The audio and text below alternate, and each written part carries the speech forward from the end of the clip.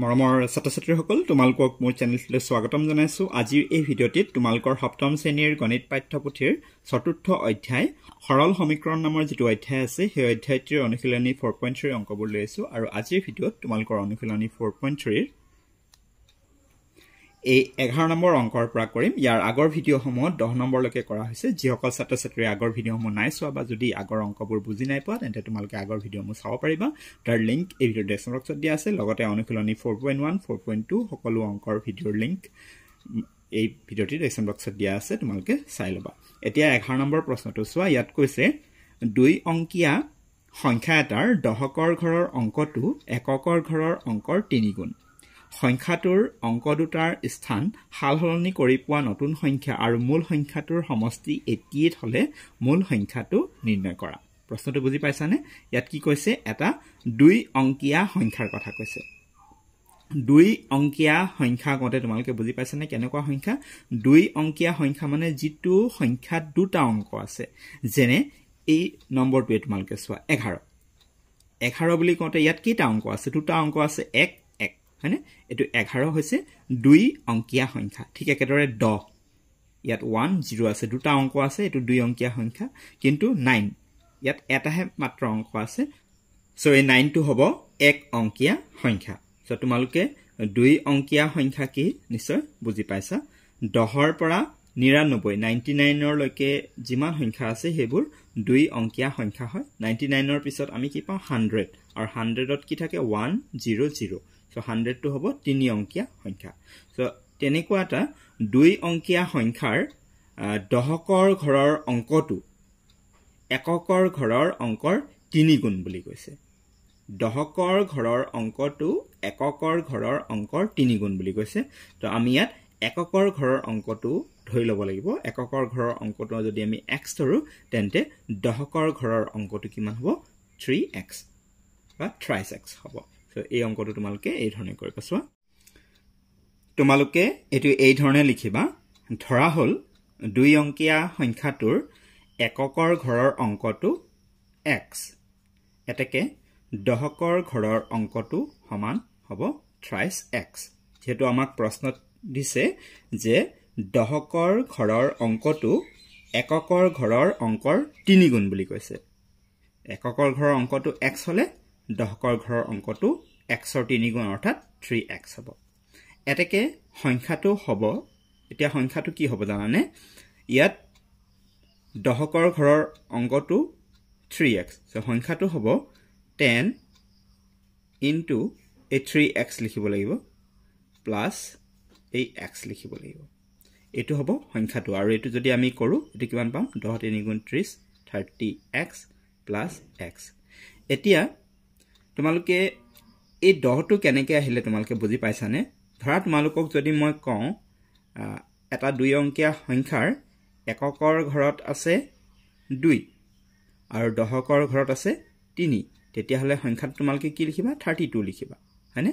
Thirty টুত এইটো একক এইটো দশক এককৰ ঘৰৰ অংকত দুই আছে আৰু দশকৰ ঘৰৰ অংকত তিনি আছে। সংখ্যাটো হ'ব থাৰ্টি টু থাৰ্টি টু তাৰমানে এই যিটো থ্ৰী ইয়াৰ লগত দহ এটা পূৰণ হয়। মানে দশকৰ ঘৰত যিটো অংক থাকে তাৰ লগত দহ এটা পূৰণ হৈ থাকে সদায়।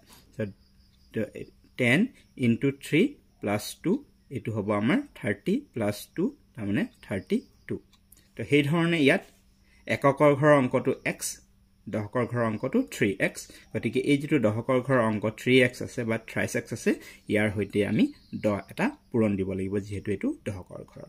আৰু প্লাছ এইটো এককৰ ঘৰৰ অংকটো এক্স চ' এইটো কৰিলে আমি থাৰ্টি এক্স প্লাছ এক্স পালোঁ। আৰু এইটো যদি আমি যোগ কৰি দিওঁ থাৰ্টি এক্স প্লাছ এইটো এক্স মানে এইটো one x so' thirty one x হ'ব।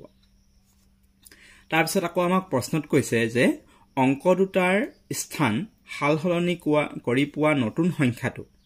যদি আমি এই অংক দুটাৰ স্থানটো সলাই দিওঁ স্থান সলোৱা মানে এই যিটো এককৰ ঘৰৰ অংক এক্স সেইটো আমি দশকৰ ঘৰত ল'লোঁ। আৰু দশকৰ ঘৰতো আমি এককৰ ঘৰত ল'লোঁ। মানে স্থানটো সলাই যদি দিওঁ তেতিয়া নতুন সংখ্যাটো কি হ'ব? নতুন সংখ্যা কি হ'ব? যে টেন ইনটু ইয়াৰ লগত কি পূৰণ হ'ব? এক্সটো পূৰণ হ'ব। যিহেতু এইবাৰ আমি স্থানটো সলাইছোঁ এক্সটোক আমি দশকৰ ঘৰত ধৰিছোঁ। যদি এক্সটোক যদি আমি দশকৰ ঘৰত ধৰোঁ তেতিয়াহ'লে এক্সৰ সৈতে আমি দহ পূৰণ দিব লাগিব। So' ten into x plus আমি এককৰ ঘৰত এই থ্ৰী এক্সটো ধৰিছোঁ চ' থ্ৰী এক্স হ'ব। চ' এইটো যদি আমি কৰোঁ এইটো টেন এক্স প্লাছ এইটো থ্ৰী এক্স তাৰমানে এইটো যোগ দিলেই হ'ব আমাৰ থাৰ্টিন এক্স চ' এইটো হৈছে আমি অংক দুটাৰ স্থান সাল সলনি কৰি পোৱা নতুন সংখ্যাটো। এতিয়া আমাক প্ৰশ্নত কি বুলি কৈছে যে এই যিটো নতুন সংখ্যা আৰু এই যিটো আগৰ সংখ্যা ইহঁত দুটাৰ সমষ্টি এইট্টি এইট বুলি আমাক প্ৰশ্নত দিয়া আছে। প্ৰশ্নমতে লিখিবা। Thirty one x plus thirteen x thirteen one x মানে এই সংখ্যাটো আৰু থাৰ্টিন এক্স মানে এই সংখ্যাটো স্থান সলনি কৰি পোৱা সংখ্যাটো। চ' ইহঁত দুটাৰ সমষ্টি এইট্টি এইট দিয়া আছে গতিকে প্ৰশ্নমতে আমি এইটো লিখিম। তাৰপিছত এই সমীকৰণটো সমাধান কৰোঁ বলা। এইটো আমি যদি যোগ কৰোঁ এক থাৰ্টি ওৱান আৰু থাৰ্টিন তেতিয়াহ'লে আমি পাম ফৰ্টি ফ'ৰ তাৰপিছত এক্স দিয়া ইকুৱেল এইট্টি এইট তাৰপিছত নেক্সট লাইনত কি হ'ব আমাৰ? এইটো এক্স লিখা এক্স ইকুৱেল এইট্টি এইট আৰু তলত আমাৰ এই ফৰ্টি ফ'ৰটো আহিব। এতিয়া ফৰ্টি ফ'ৰেৰে এইট্টি এইটটো কেইবাৰ যাব? দুবাৰ যাব। চ' আমি এক্স ইকুৱেল কিমান পালোঁ? এতেকে এক্স ইকুৱেল আমি পালোঁ টু চ' আমি এতিয়া এতেকে মূল সংখ্যাটো এতেকে নিৰ্ণয় মূল সংখ্যাটো আমাৰ কিমান হ'ব? নিৰ্ণয় মূল সংখ্যাটো আমাৰ মূল সংখ্যাটো কিমান আছিলে? মূল সংখ্যাটো আমাৰ এইটো আছিলে নহয়নে? থাৰ্টি ওৱান এক্স চ' সেইটোৱে আমাৰ মূল সংখ্যা। গতিকে নিৰ্ণয় মূল সংখ্যা হ'ব আমাৰ thirty one x so' thirty one x মানে থাৰ্টি ওৱান ইনটু এক্সৰ ঠাইত আমি টু পাইছোঁ। চ' টু বহাই দিয়া। সেইটো আমি পূৰণ কৰিলে কিমান পাম দুই এক গুণ দুই আৰু দুই তিনি গুণ ছয় ছিক্সটি টু এইটো হৈছে নিৰ্ণয় সংখ্যাটো।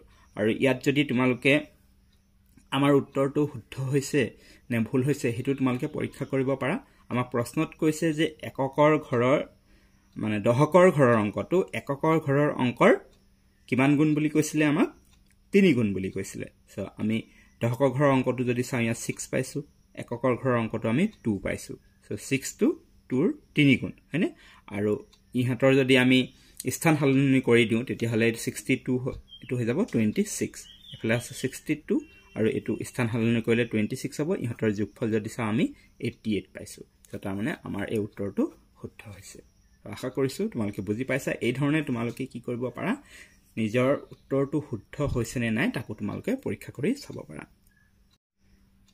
এইবাৰ বাৰ নম্বৰটো চোৱা। ইয়াত কৈছে তিনিটা ক্ৰমিক সংখ্যাৰ যোগফল ফৰ্টি এইট হ'লে সংখ্যা তিনিটা নিৰ্ণয় কৰা। ইয়াত তিনিটা ক্ৰমিক সংখ্যাৰ যোগফল ফৰ্টি এইট দিয়া আছে। সেই সংখ্যা তিনিটা কি কি হ'ব উলিয়াব লাগে। প্ৰথমে আমি ক্ৰমিক সংখ্যা তিনিটা ধৰি ল'ব লাগিব। এই ধৰণে লিখি ল'বা।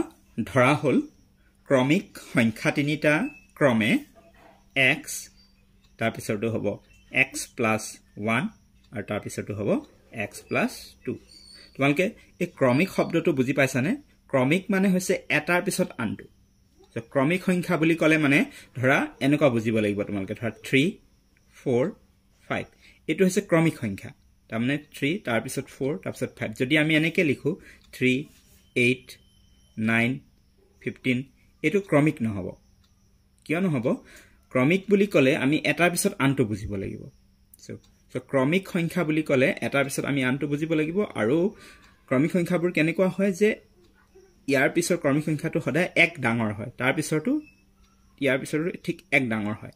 তো বুজি পাইছানে? তো প্ৰথমটো যদি এক্স হয় তাৰ পিছৰটো কি হ'ব? এক্স প্লাছ ওৱান হ'ব। ইয়াৰ লগত এক এটা যোগ দিব লাগিব যদি প্ৰথমটো তিনি হয় নেক্সটটো কি হ'ব? চাৰি হ'ব। তাৰমানে তিনিৰ লগত এক যোগ দিব লাগিব। তেনেকৈ এক্সটোক তোমালোকে তিনি বুলি ধৰা ত' তাৰ নেক্সটটো হ'ব থ্ৰী প্লাছ ওৱান মানে ফ'ৰ হ'ব ঠিক তেনেকৈ তাৰ নেক্সটটো কি হ'ব? থ্ৰী ইয়াৰ লগত দুই যোগ দিলে আমি ফাইভ পাম তাৰমানে এক্সৰ লগত আমি দুই যোগ দিম চ' ইয়াৰ নেক্সট ক্ৰমিক সংখ্যাটো আমি পাম। চ' ক্ৰমিক সংখ্যা তিনিটা এক্স এক্স প্লাছ ওৱান আৰু এক্স প্লাছ টু ধৰিলোঁ। আমাক প্ৰশ্নত কৈছে যে এই তিনিটা ক্ৰমিক সংখ্যাৰ যোগফল ফৰ্টি এইট চ' ইহঁতৰ যোগফল লিখাই তাৰমানে x plus x plus one plus x plus two equal forty eight বুলি কৈছে। ইহঁতৰ যোগফলটো।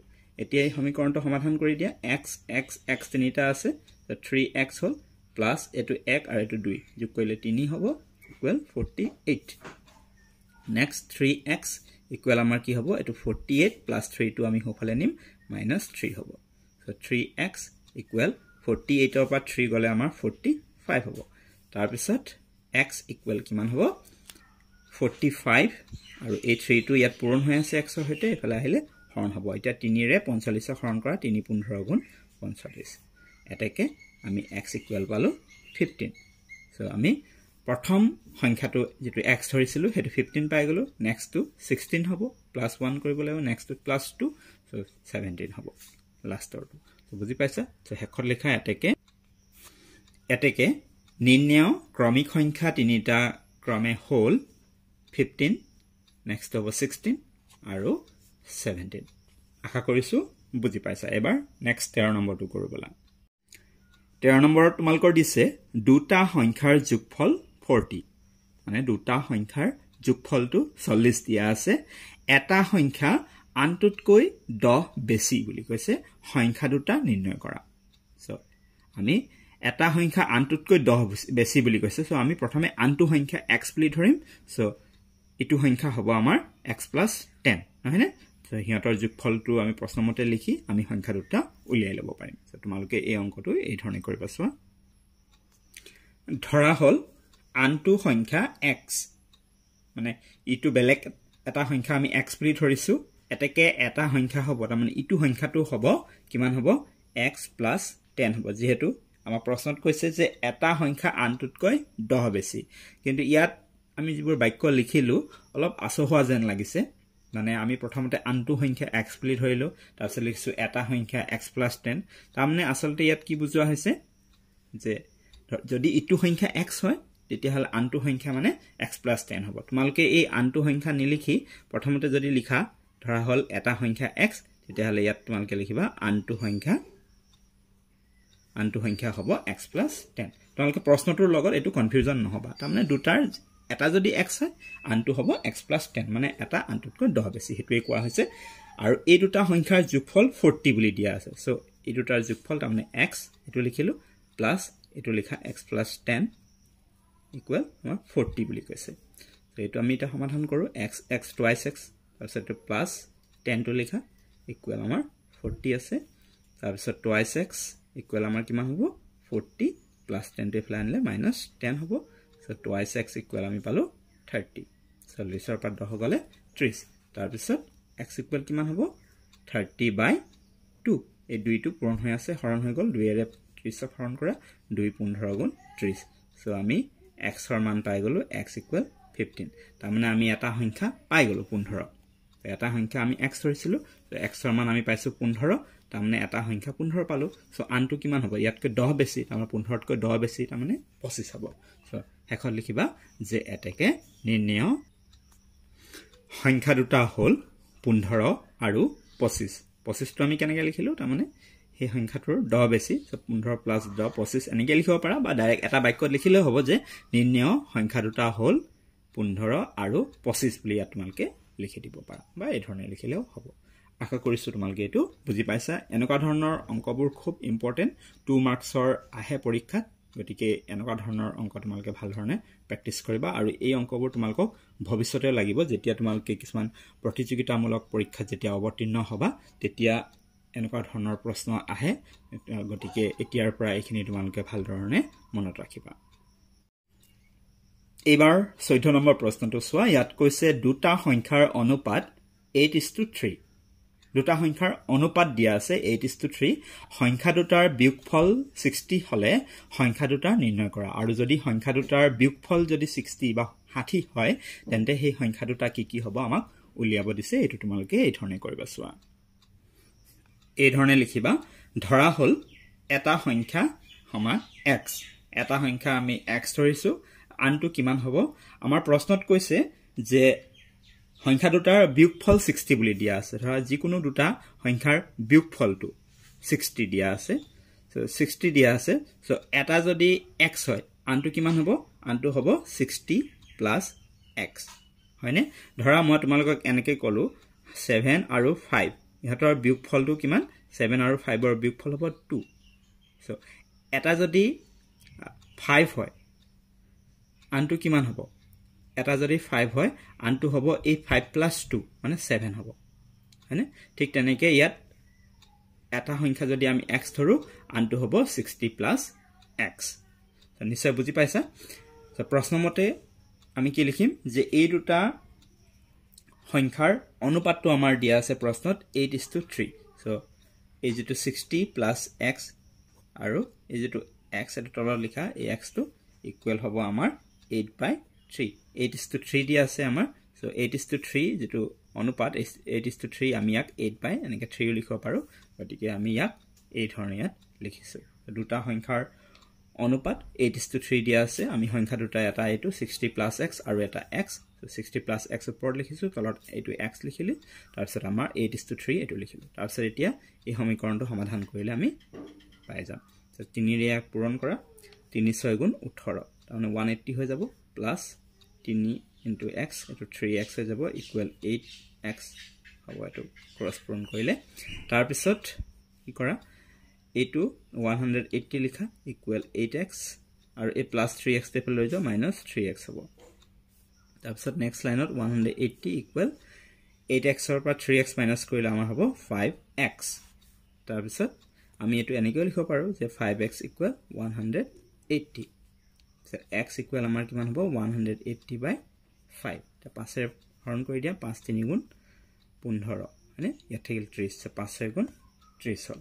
চ' এটাইকে আমি এক্স ইকুৱেল পালোঁ থাৰ্টি ছিক্স চ' আমি এটা সংখ্যা পালোঁ থাৰ্টি ছিক্স আৰু আনটো কিমান হ'ব? ছিক্সটি প্লাছ এক্স মানে ছিক্সটিৰ লগত আমাৰ থাৰ্টি ছিক্সটো যোগ কৰিব লাগিব। চ' এটাকে নিৰ্ণয়।